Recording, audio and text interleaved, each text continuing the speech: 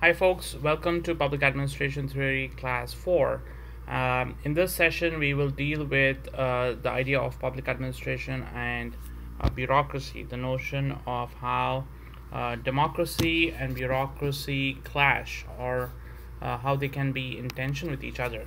So this is a very real problem as uh, we are seeing today in the current political situation as well as uh, in previous contexts. This is the real tension between the need for order uh, and structure, which is essentially what bureaucracy is about, and about the need for uh, participation, the need for participatory governance, need for inclusion of people's voices, uh, themes that I've been talking about from class one. And uh, essentially, as we can imagine, these would be in, in tension, these would be in conflict uh, most of the time, if not always. So one of the biggest challenges for any bureaucrat is to manage these tensions, to overcome them, and to make sure that uh, the laws and rules that are being made uh, are uh, in tandem with the principles of uh, fair play, principles of justice, and equity. So these are some some tensions that we'll examine through this uh, session and see how uh, bureaucrats can overcome them using theories, using examples uh, that you know that I've used in this uh, session. Hopefully, we'll get a better understanding of the issues at stake. So, uh, one of the key seminal thinkers that has written about bureaucracy and about governance more broadly, uh, though I don't think he really used that term, is Max Weber, the German uh, German sociologist.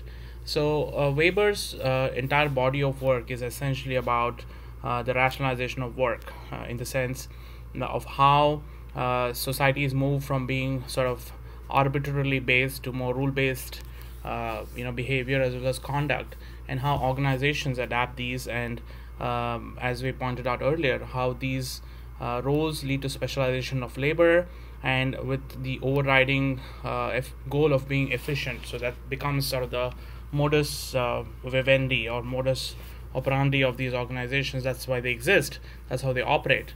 So Weber's real concern, uh, you know, through his writings and research was uh, to really examine and argue about the dehumanization of life with bureaucracy because the more rules you follow, the more uh, orders you take, uh, he argued that the more uh, inhuman people might become or, or it might have a detrimental effect on how people live their lives. So his famous expression is is the one that uh, at the bottom of the slide, where where he said that uh, people might enter into an iron cage of rationality.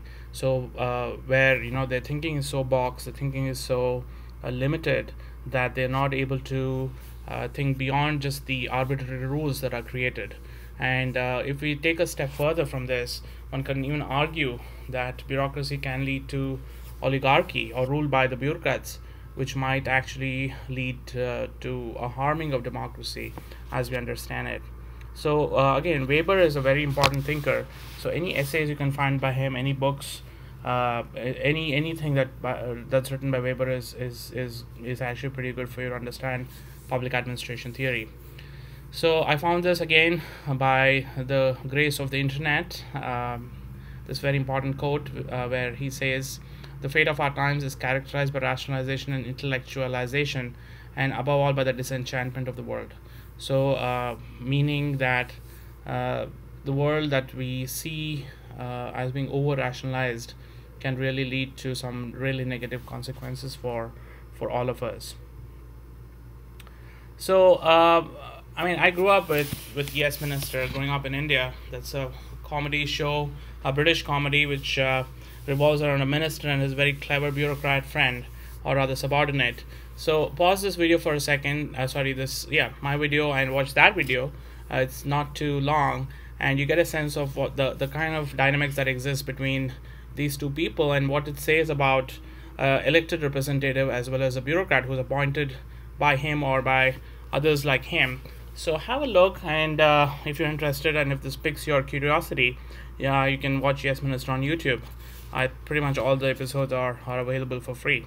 So uh, I I that think that's a good intersection to really point out to the tensions between bureaucracy and democracy and the absurdity that it leads to at many points of time. So uh, here's another reading which I don't think is included in your text, but is, is based off of what uh, Weber has written. So, in which uh, this scholar uh, Downs argues uh, that it's he's basically talking about um, how bureaus or agencies are formed and how they become efficient and what's their life cycle really. I mean, you could you could use this example for uh, any institution, for instance. I mean, in the next couple of slides, I, I talk about uh, you know churches or universities and other institutions that have come about through what Weber also called routinization of charisma, as in uh, most institutions, as you you may know, are formed by one or two charismatic individuals, right? I mean, private institutions, or even nation states, for instance. I mean, think of uh, Gandhi, think of uh, uh, George Washington, think of ma- many other people or smaller figures who may have formed a bureau. I mean, think of the founder of FBI, uh, J. Edgar Hoover.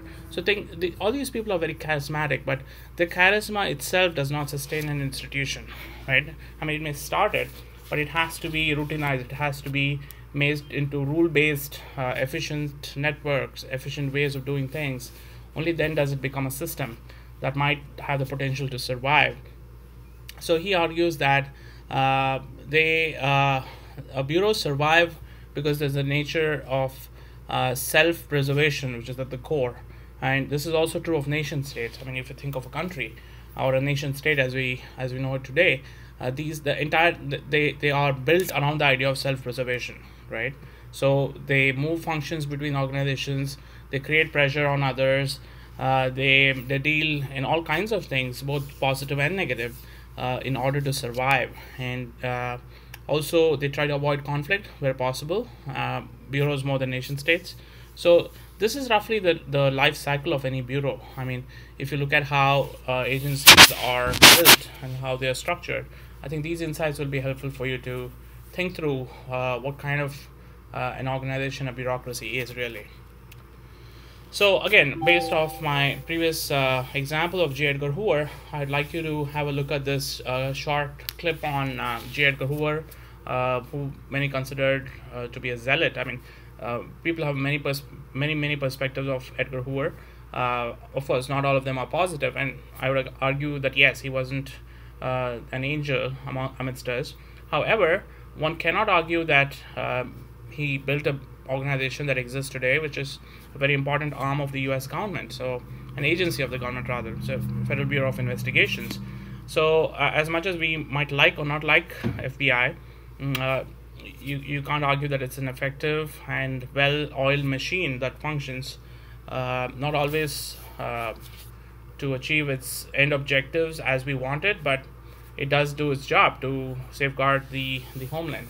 So let's have a look at this and also see what kind of a bureaucrat Edgar Hoover was and uh, what really made his personality and uh, his whole method effective. So uh, I think his is a good case study of a bureaucrat, and also the agency itself is a great example of an agency that you know illustrates a few key points that we are trying to understand here.